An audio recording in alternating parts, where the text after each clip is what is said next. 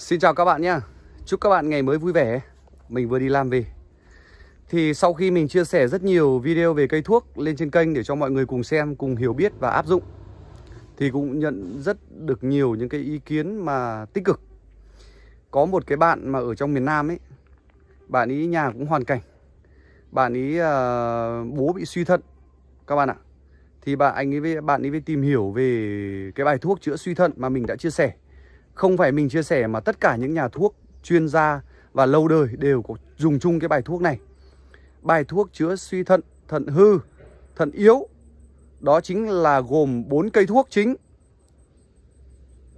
Cây quýt gai, cây muối, cây phèn đen tức là cây mực và thứ ba là cây nổ. Cây nổ tức là cây sâm tanh tách. Các bạn nhé. Nắng quá. Đấy. Thì bây giờ mình đi làm về ấy. Mình đến đây mình thấy mấy cây thuốc mình chia sẻ lại một lần nữa về cái bài thuốc này. Và cái video này mình sẽ chia sẻ cây uh, quýt gai, cây phèn đen, tức là cây mực và cây muối. Còn cây nổ thì ở ngoài Bắc mình là tầm này là không có. Thì các bạn có thể vào Google tìm cây nổ. Trong miền Nam với miền Trung rất là nhiều. Các bạn nhé.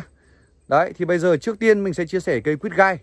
Thì các bạn chú ý, phân tích, tìm hiểu kỹ khỏi nhầm nhé. Mình đã chia sẻ cây quýt gai một video rất chi tiết rồi. Mình đã chia sẻ một video về cây muối cũng chi tiết rồi Có ná, hoa, quả, có đủ hết. Và cây mực, cây phèn đen mình cũng chia sẻ rất kỹ từ quả đến lá rồi Nhưng mà các bạn không chú ý rồi. Cho nên các bạn có thể vào kênh để tìm hiểu lại về những cái cây đó các bạn nhé.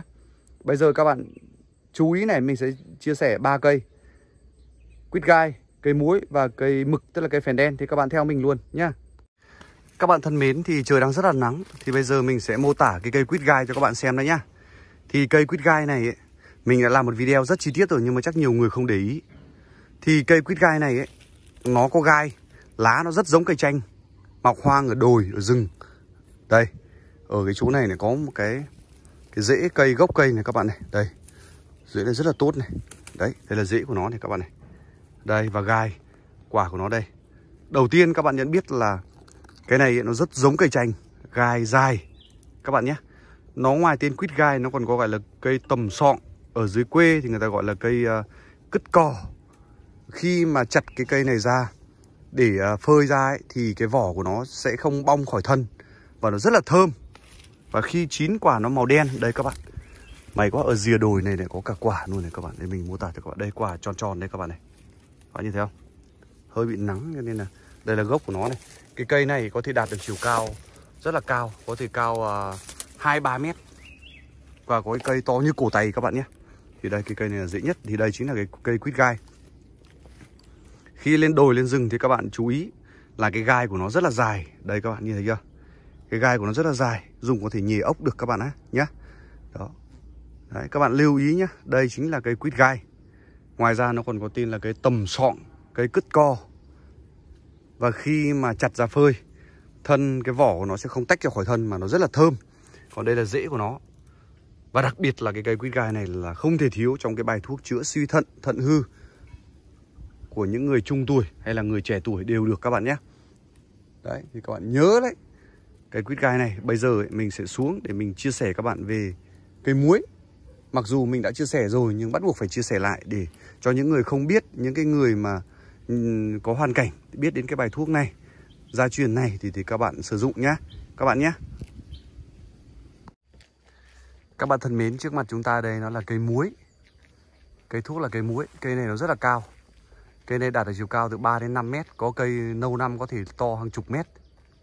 Cho nên ở đây rất là nắng mình đã bẻ một cái cành xuống đây để mình chia sẻ với các bạn nhé mặc dù mình cũng đã chia sẻ với các bạn về cái cây muối một video rất rõ ràng rồi đấy. Thế nhưng mà nhiều bạn cũng không để ý các bạn nhé. Đây, xuống đây mình sẽ mô tả cho các bạn xem. Đó, thì trước khi mà mô tả về cây muối này Mình xin nhắc lại với các bạn là mình đã chia sẻ một video Chia sẻ rất kỹ về cây muối. Thân lá, cà quả luôn. Và cách dùng như thế nào mình đã chia sẻ kỹ rồi thì các bạn muốn biết rõ thì các bạn có thể vào để tìm hiểu lại. Còn đây là video này là mình chia sẻ bốn cây thuốc Chữa một bài thuốc suy thận. Mà chúng ta không có tiền mua thì chúng ta có thể tìm kiếm chúng ta dùng. Các bạn nhé. Thì cây muối này ấy, nó khá là giống cái cây sơn với lại cây dâu da xoan. Thì các bạn đừng có nhầm lẫn. Ở ngay đường cho nên người ta đi qua đi tai quá. Các bạn nhé thì đầu tiên ý cái cây muối này này là thân của nó là thân gỗ, nhưng mà lại xốp giống ở ruột, các bạn nhé, nhìn đây này. Thấy chưa? Thân to thì sau rồi nó cũng thối ruột thôi. Tại vì bên trong nó là cái xốp xốp. Thứ hai nó có nhựa trắng này các bạn. Và vỏ rất là dày. Lá thì mọc so le sang hai bên. Tàu dài. Lá có răng cưa. Các bạn nhìn này, nhìn cho rõ vào nhá. Đó, khi mà ra hoa, nó sẽ ra hoa trên chùm này. Và nó ra quả trên chùm, quả nó nhỏ nhỏ ấy. Đó. Đây này các bạn này và người ta lấy làm thuốc ấy, người ta chủ yếu lấy thân gốc và rễ sau đó người ta phạt ra. Nó rất là trắng thơm. Thì đây là cái chính là cái cây muối. Là cây thuốc thứ hai trong cái bài thuốc chữa suy thận. Các bạn nhé. Các bạn hình dung ra chưa? Cây cây này ấy, nó rất giống cây dâu da xoan. Và giống cây ờ, sơn. Cây sơn thì rất là nguy hiểm ăn vào sẽ bị phá lửa mụn nhọt ra đấy cho nên chúng ta phải cẩn thận vào đấy, thì đây chính là cây muối. Lá mọc đối xứng, tàu dài khoảng 3 đến 40 cm còn các cái lá này thì nó sẽ đối xứng sang và có răng cưa. Đấy. Và khi sử dụng, người ta sẽ lấy thân gốc rễ. Các bạn nhé. Đó, thì bây giờ mình sẽ đi chia sẻ với các bạn về cây mực, tức là cây phèn đen. Thì các bạn theo mình nhé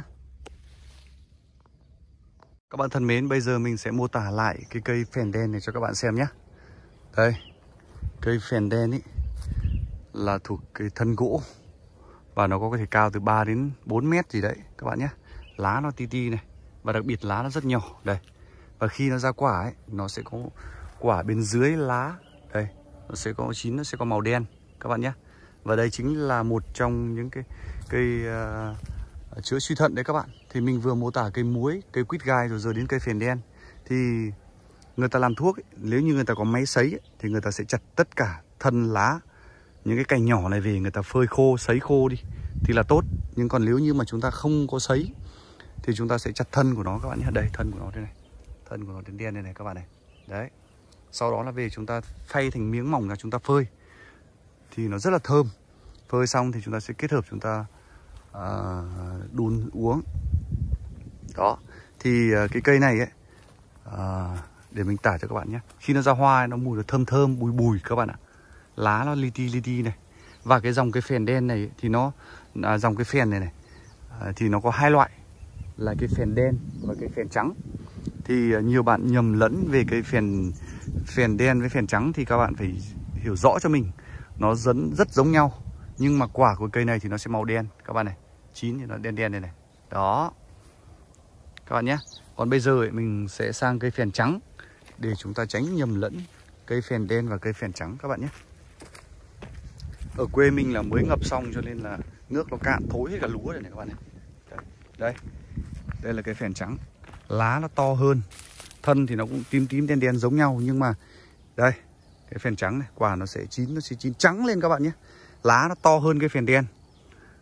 Đấy còn về thân thì khá là giống nhau. Lá cây phèn trắng này thì nó to, quả nó rất là trắng. Cây này gọi là cái cái lỗ gai, các bạn nhé. Chứ không phải là cây à, phèn đen thì người ta gọi là cây mực. Thì cây này rất là giống cây à, phèn đen. Cây phèn trắng này thì nó có những công dụng riêng, mình đã chia sẻ rồi. Các bạn nhé. Thì cái bài thuốc chữa suy thận này thì các bạn lưu ý cho mình là bốn cây. Cây muối, cây quýt gai và cây mực. Cây mực tức là cây phèn đen. Không phải cây phèn trắng này các bạn nhé khi quả nó chín nó sẽ trắng tinh này các bạn này. Còn cây nổ tức là cây sâm tanh tách ý, thì các bạn có thể vào uh, vào uh, mạng các bạn tìm hoặc là nhiều video ở trong miền Nam nó có còn ở bây giờ ngoài Bắc mình nó ngập hết rồi các bạn cho nên là không có rồi. Đấy. Thế như vậy là mình đã chia sẻ cho các bạn về một cái bài thuốc chữa suy thận gồm bốn cây chính. Đó là cây uh, mực cây muối cây quýt gai và cây nổ các bạn nhé thì đã phân biệt rõ ràng hết rồi. Còn nếu như bạn nào mà chưa rõ uh, về cây nào thì các bạn có thể vào kênh của mình để tìm hiểu sâu về từng cây một nhé rồi chúc các bạn có thêm nhiều kiến thức về cây thuốc quanh ta. Cảm ơn các bạn nhé